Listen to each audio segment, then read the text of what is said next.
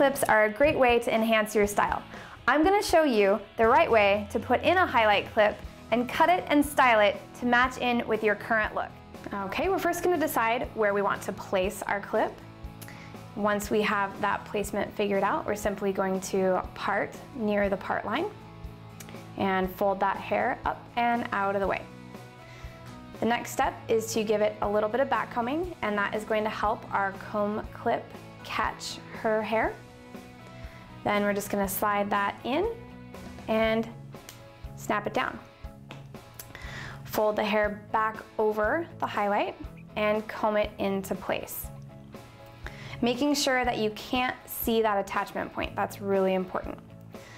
Next, we're going to find the ends of her hair and just lift that up and you can see where her ends are at and we're just gonna snip the excess away.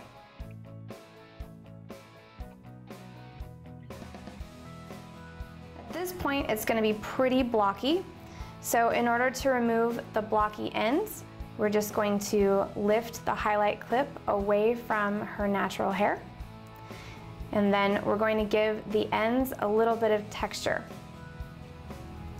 So just smooth that out and just point cut right up into that clip. That's gonna make for a much more believable finished edge.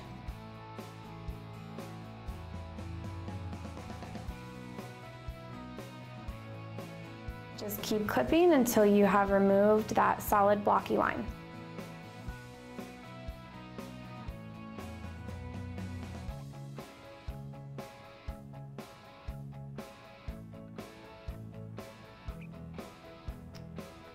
And then smooth it back out. And that has our completed edge. And here we have your finished highlight clip.